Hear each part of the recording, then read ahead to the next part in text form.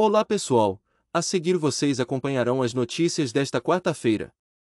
Na descrição vocês encontram os links para saber mais sobre cada notícia. Telegram anuncia plataforma de videoconferência para concorrer com o Zoom. Pavel Durov, fundador do sistema de mensagens, anunciou em seu canal no Telegram que apresentará em maio uma nova ferramenta de teleconferência integrada ao aplicativo, disponível tanto para PCs como smartphones. Ainda sem nome, a plataforma contará com muitos recursos, como o compartilhamento de tela, cancelamento de ruídos e criptografia integrada, além de uma interface nível Telegram, segundo Durov. Cientistas descobrem acidentalmente nova função para o silício. Uma pesquisa da Universidade de Surrey mostra que o silício é excelente para manipulação fotônica de informações, abrindo possibilidades para a criação de lasers e monitores feitos do material. A descoberta, feita por acaso, aconteceu durante uma pesquisa sobre cristais de silício para computação quântica. As informações são do site Eureka Alert. Sindicato propõe estatizar fábrica de celulares que será fechada pela LG no Brasil. Segundo o Sindmetals que no local existe tecnologia, maquinário e capacitação técnica necessária para o desenvolvimento de celulares com uma marca nacional. No momento, cerca de 700 trabalhadores encontram-se paralisados, em greve contra o fechamento da fábrica. As informações são do Tecnoblog.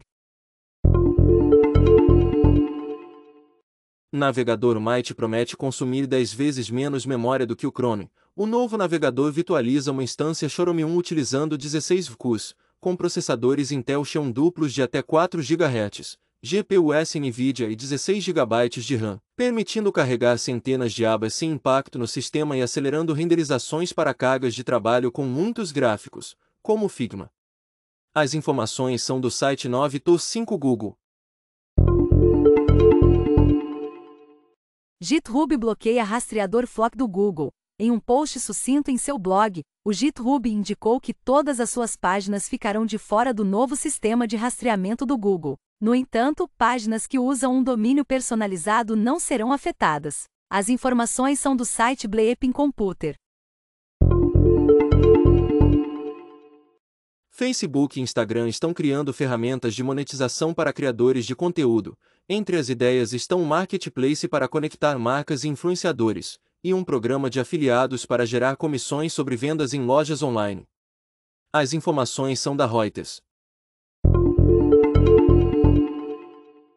Google e Microsoft apresentam resultados trimestrais o Google registrou lucro líquido de 17,9 bilhões de dólares no primeiro trimestre de 2021, um crescimento de 162% em um ano, devido a uma procura maior por publicidade digital. A Microsoft lucrou 15,4 bilhões, alta de 43% no período, com receitas maiores em serviços cloud e produtos relacionados ao trabalho remoto. As informações são das páginas de relação com investidores das duas empresas. Novo drone atinge autonomia de nível 4A. Os drones da EI são totalmente autossuficientes e não requerem nenhuma interação humana durante o voo, bastando ao operador apenas definir a área que deverá ser explorada. Uma das potenciais aplicações é a de resgate, na qual o drone poderá receber o comando Explore até encontrar alguém.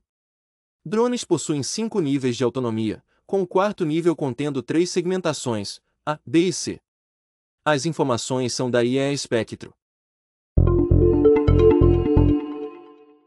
Microsoft e Google irão promover o desenvolvimento do WebAssembly. As duas companhias se unem à Bytecode Alliance, fundação formada por empresas como Mozilla, Intel, ARM, Fastly, Shopify e Red Hat, e que tem a missão de tornar o software mais modular, seguro e rápido. As informações são do site The Register. Estas notícias foram extraídas da newsletter de Felipe Deschamps. Para acompanhar estas notícias em formato de texto, inscreva-se no link na descrição.